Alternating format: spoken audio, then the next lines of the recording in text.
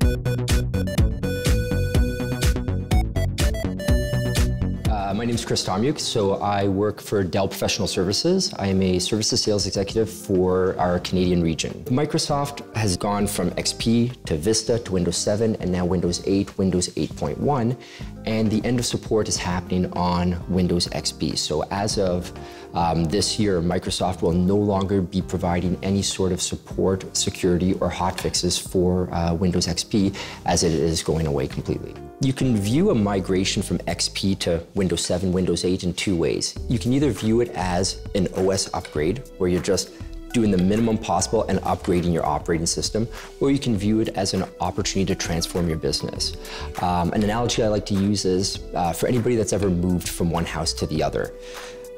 When you move, it's an opportunity to go in the basement, go in the closets, clean out stuff, have a garage sale, sell all of your old your old stuff that you no longer use that you haven't touched. Or migrating operating systems can almost be looked at as moving to a new house, and it's a chance to clean house and and look at new ways of doing things and creating more space.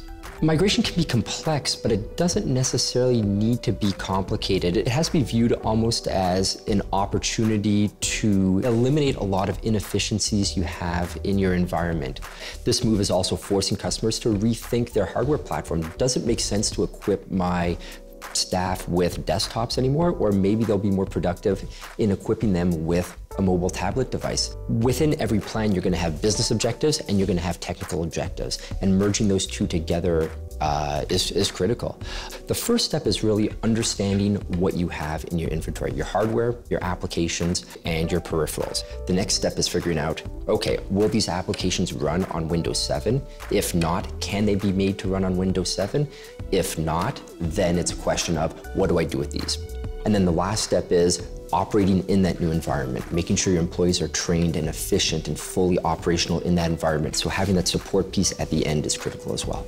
The three main differentiators that we that we bring to the table are one, Dell can offer a complete solution from the hardware to the software, the services, the training, and the support for your entire XP migration. The second point is we've developed internal tools and processes for our own migration that we can now leverage to assist our customers with their migration, helping to become as efficient and cost effective as possible.